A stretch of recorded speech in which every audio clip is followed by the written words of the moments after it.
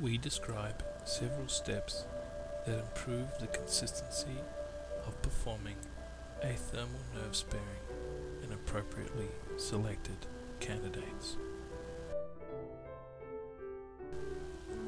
The first step is to define the posterior contour of the prostate.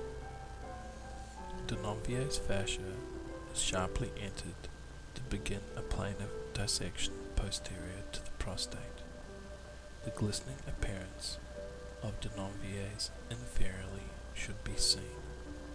If prerectal fat is visible, the plane of dissection is broad anteriorly.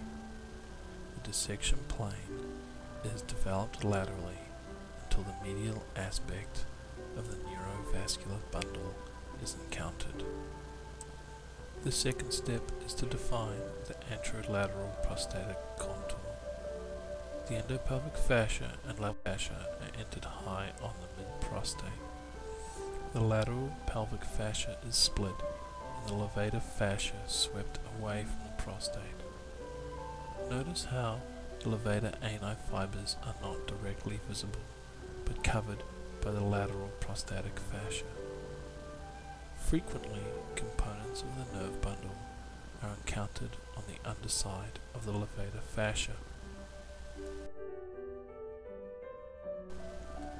This example, a prominent nerve bundle is released with the sweeping motion and lies lateral to the planned nerve sparing dissection plane.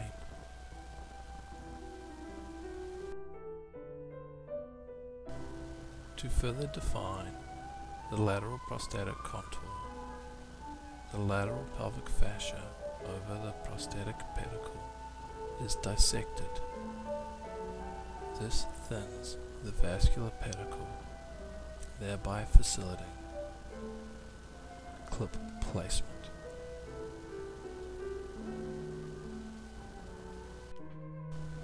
The final step is pedicle division and bundle release. The pedicle has been attenuated medially with the posterior dissection clips are applied to divide the pedicle in an athermal fashion.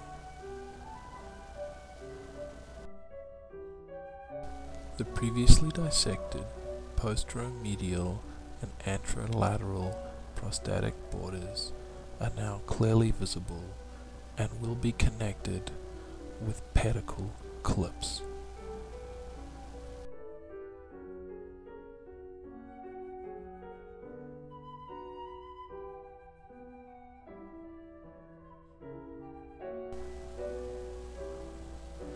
Nerve sparing may now continue and proceed in either an inter or intrafascial plane as determined by patient tumor characteristics.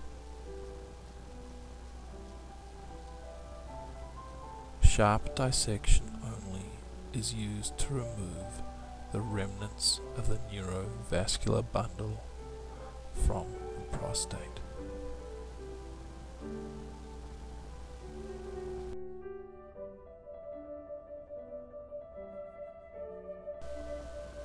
This second example illustrates how the anterior and posterior dissection may be joined circumferentially while defining the anterolateral contour and thus facilitate and ease later neurovascular bundle dissection. The prostatic contours are now clearly defined and connecting vascular tissue will be divided. As can be seen, once the pedicle is divided by clips, the previous area between anterolateral and posteromedial contour is already free.